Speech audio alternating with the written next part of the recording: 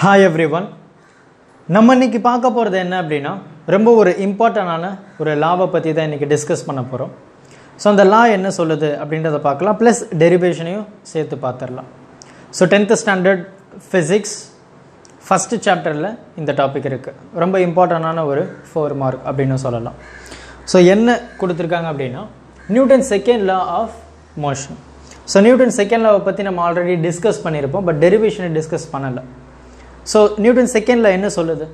அந்த ஃபோர்ஸ் ரைட்டா so force வந்து is directly proportional to the rate of change of linear momentum of the body and change in momentum take place in the direction of the force ரொம்ப சிம்பிளாக சொல்லணும் அப்படின்னா second level எப்படி அழகாக define பண்ணலாம்.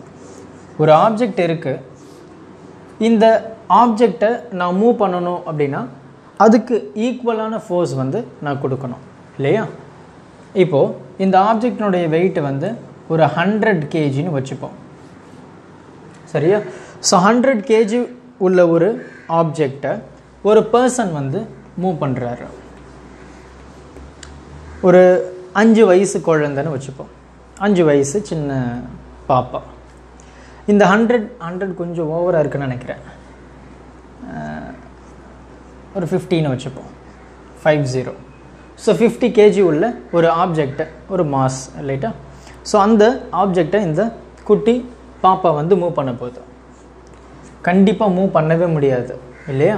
So அந்த ஆப்ஜெக்டினுடைய force வந்து அதிகமாக இருக்கும் வெயிட் அதாவது கிராவிட்டியில் ஸோ அப்போது இந்த ஆப்ஜெக்டினுடைய மாஸ் அதிகமாக இருக்கும்போது இந்த ஆப்ஜெக்டை நான் மூவ் பண்ணணும் அப்படின்னா அதுக்கு ஈக்குவலான ஃபோர்ஸ் நான் கொடுத்தா மட்டும்தான் அந்த ஆப்ஜெக்ட்டு மூவ் பண்ண முடியும். இல்லையா? ஸோ இதுதான் செகண்ட் லா இப்போது அதே மாதிரி ஃபிஃப்டி கேஜி ஒரு ஆப்ஜெக்ட்டு ரைட்டா இப்போது ஒரு யங் மேன் ஸோ என்ன மாதிரி ஒரு ஸ்ட்ராங்கான ஒரு பர்சன் சரி ஓகே அட்ஜஸ்ட் பண்ணிக்கோங்க ஓகேவா ஸோ என்ன மாதிரி ஒரு ஸ்ட்ராங்கான ஒரு பர்சன் வந்து இந்த ஆப்ஜெக்டை மூவ் பண்ண ட்ரை பண்ணுறாங்க ரொம்ப ஈஸியாக மூவ் ஆகிடும் இல்லையா? ஸோ என்ன மாதிரி ஸ்ட்ராங்கு ஸோ அப்போ இந்த ஆப்ஜெக்ட் வந்து ஈஸியாக ஒரு இடத்துல இருந்து இன்னொரு இடத்துல மூவ் பண்ணிடலாம். ஏன்னா இந்த ஆப்ஜெக்டுடைய மாஸ் எப்படி இருக்கோ அதே மாதிரி அது அதே மாதிரி தான் என்னுடைய மாதம் இருக்கும்.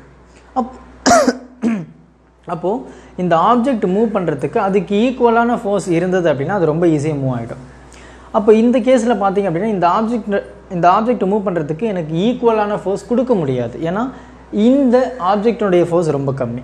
இல்லையா?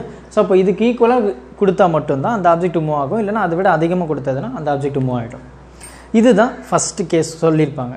ஃபோர்ஸ் வந்து is directly proportional to the rate of change of linear momentum directly proportional to rate of change of linear momentum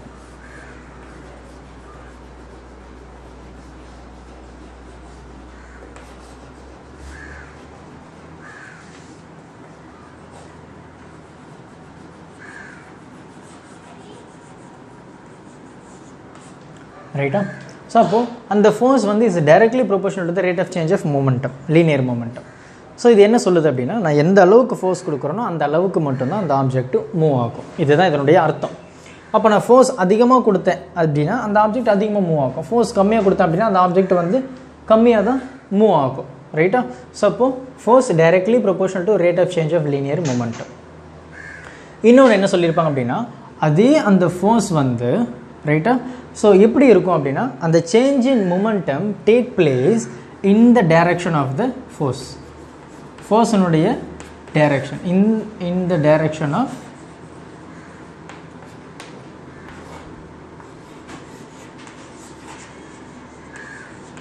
சரியா?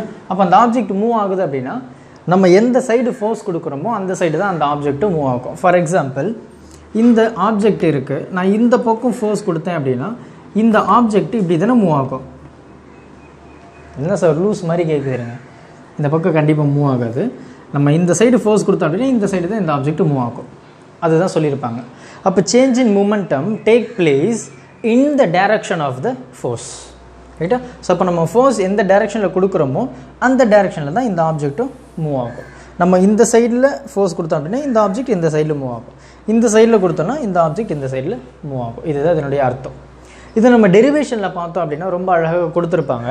ஒரு ஆப்ஜெக்ட் இருக்குது இந்த ஆப்ஜெக்டுடைய initial velocity U initial velocity அப்படின்றப்பவே தெரியும்.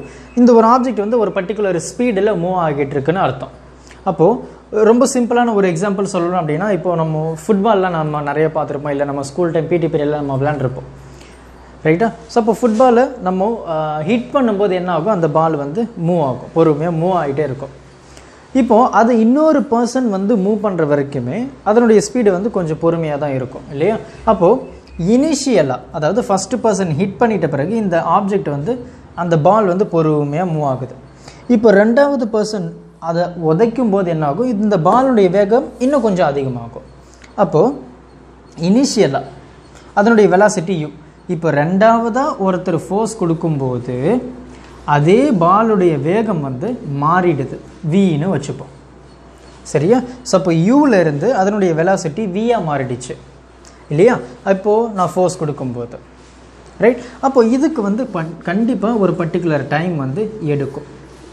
இல்லையா? So it depends upon the time ஒரு particular time வந்து எடுக்கும் அப்படின்றத இங்கே சொல்லியிருப்பாங்க. அப்போது rate of change in momentum per time ஓகேவா அப்போ ஒரு பர்டிகுலர் டைம் இதில் இருக்கும் கண்டிப்பாக இருக்கும் இல்லையா? ஸோ அப்போ இதை நம்ம டெரிவேஷனில் பார்த்தோம் அப்படின்னா மூமெண்டம் இல்லையா? ஸோ மூமெண்டம் அப்படின்றப்பவே நமக்கு தெரிஞ்ச ஒரு formula P which is equal to MV அப்படின்னு நம்ம சொல்லுவோம். ரைட் ஸோ இந்த மூமெண்டம் எதுக்கு அப்படின்னா நம்ம ஃபோர்ஸை கண்டுபிடிக்கிறதுக்கு தான் நம்ம இந்த மூமெண்டமும் யூஸ் பண்ணுவோம். அப்போது இந்த இடத்துல நம்ம என்ன சொல்ல போகிறோம் அப்படின்னா பிஃபோர் அப்ளையிங் த ஃபோர்ஸ் ரைட்டா so before applying the force அப்போது இனிஷியல் அப்போ இந்த ஃபோர்ஸ் அப்ளை பண்ணிட்ட பிறகு final right so initial momentum final momentum அப்போது சேஞ்ச் இன் லீ அதாவது rate of change of linear momentum தான் நம்ம ஃபோர்ஸ்னு பார்த்துருப்போம் இந்த செகண்டில் அப்போ இதை நம்ம ஈஸியாக டிஃபைன் பண்ணணும் அப்படின்னா எப்படி எழுதலாம் அப்படின்னா இனிஷியலாக இதனுடைய மூமெண்டம் பார்த்தீங்க அப்படின்னா எம் யு கரெக்டாக அப்போது இதுதான் நம்ம லீனியர் மூமெண்டம் உடைய formula so M stands for mass and V stands for velocity P stands for linear momentum அப்போது பிஃபோர் அப்ளைங் த ஃபோர்ஸ் அந்த பால் ஆல்ரெடி மூவ் ஆகிட்டு இருக்கும்போது அதனுடைய வெலாசிட்டி என்ன? யூ மாஸ் இன்ட்டு வெலாசிட்டி அப்போது ரெண்டாவது பர்சன் அடிச்சிட்ட பிறகு அதனுடைய ஃபைனல் வெலாசிட்டி எப்படி மாறுது? மாஸ் இன்ட்டு வி மாறிடுச்சு. கரெக்டாக அப்போது பை இல்லைன்னா according to right so according to second law என்ன சொல்லுது? ஃபோர்ஸ் வந்து இஸ் அதாவது is directly proportional to rate of change of linear momentum rate of change of linear momentum அப்போது இதை நம்ம எப்படி எழுதலாம்? F is directly proportional to rate of change of linear momentum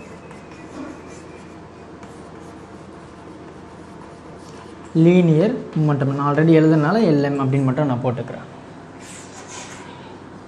ரைட்டா ஸோ இதுக்கப்புறம் எப்படி எழுதுவோம்? அப்போ அந்த ஃபோர்ஸ் வந்து இதுக்கு முன்னாடி சொன்ன மாதிரி இட் டேக் சம் டைம் இல்லையா?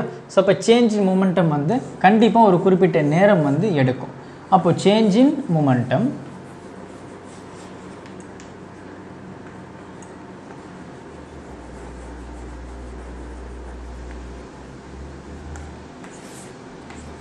டைம் சரியா? ஸோ பொறுமையாக பாருங்கள் புரியும்னு நினைக்கிறேன் ரைட் சப்போ எஃப் வந்து is directly proportional change in momentum by time அப்போ சேஞ்ச் இன் மூமெண்டம் இங்கே என்ன? இதுதான் எனக்கு சேஞ்ச் இன் மூமெண்டம் அப்போது எனக்கு இனிஷியலாக இப்படி இருக்குது ஃபைனலாக இப்படி இருக்குது அப்போ இந்த சேஞ்ச் இன் மூமெண்டமாக நம்ம எப்படி எழுதலாம் அப்படின்னா டெல்டா பி அதாவது சேஞ்ச் இந்த டெல்டா என்ன சொல்லுது அப்படின்னா சேஞ்ச் அப்படின்றது தான் சொல்லுது. அப்போ சேஞ்ச் இன் மூமெண்டம் வந்து எப்படி இருக்குது final minus initial so final நமக்கு என்ன கொஷின் என்ன கொடுத்துருக்கு? M oh shit M V இல்லையா? எம் வி ஃபைனல் அப்போ இனிஷியல் வந்து மைனஸ் எம் யூ கரெக்டாக அப்போ இதுதான் எனக்கு சேஞ்ச் இன் மூமெண்டம் அப்போது ஃபோர்ஸ் வந்து is directly proportional to change in momentum with respect to time இல்லையா? அப்போ இந்த நம்ம டேர்ம் எப்படி எழுதலாம் F is directly proportional to change in momentum M V minus M U by கரெக்டாக அப்போ இந்த டைரக்ட்லி ப்ரொபோஷனலை நம்ம என்ன சொல்ல போகிறோம் அப்படின்னா கே அப்படின்னு ஒரு கான்ஸ்டண்ட்டாக எடுக்கிறோம். கே அப்போ இந்த எம் அப்படியே தான் இருக்குது இப்போ இந்த ரெண்டு டேர்மில் பார்த்தோம் அப்படின்னா எம் அப்படின்ற ஒரு விஷயம் வந்து காமன் அப்போ எம்மை நம்ம காமனாக எடுத்துட்டோம் அப்படின்னா வி மைனஸ் யூ அப்படின்னு எழுதலாமா? பை டைம் ரைட்டா ஸோ இங்கே என்ன சொல்லியிருப்பாங்க அப்படின்னா இந்த கேவுடைய வேல்யூ வந்து கான்ஸ்டன்ட் அப்போ இந்த கேவோடைய வேல்யூ வந்து நான் ஈக்குவல் டு ஒன் அப்படின்னு சொல்கிறேன் அப்போ கே வந்து ஈக்குவல் டு ஒன்னாக இருந்தது அப்படின்னா இந்த ஈக்குவேஷன் எப்படி மாறும்? F equal to M V minus U by T நமக்கு தெரியும். என்ன தெரியும் நமக்கு? அக்சலரேஷன் அப்படின்னா change in velocity by time அது எப்படி sir change in velocity by time அப்படின்னா அக்சலரேஷன் இதை நீங்கள் ஞாபகம் வச்சுக்கிறதுக்கு ஒரு சின்ன ஹிண்ட்டு கொடுக்குறேன். இப்போ பைக் எடுத்துக்கலாம். ஸோ பைக்கில் நம்ம அக்சலரேட்டர் இருக்குது அந்த அக்சலரேட்டர் நம்ம எதுக்கு யூஸ் பண்ணுறோம் ஸ்பீடை மாற்றுறதுக்கு அக்சலரேட்டரை யூஸ் பண்ணுறோம் ஒன்று ஸ்பீடை இன்க்ரீஸ் பண்ணுவோம் இல்லை ஸ்பீடை டிக்ரீஸ் பண்ணுவோம். அப்போ இந்த கேஸில் பார்த்தோம் அப்படின்னா அக்சலரேஷன் எதுக்கு? சேஞ்ச் இன் வெலாசிட்டி அப்போ நான் வேகத்தை மாற்றுறேன் வித் ரெஸ்பெக்ட் டு டைம் அப்போது பர்டிகுலர் டைம் வந்து அங்கே இருக்குது இல்லையா?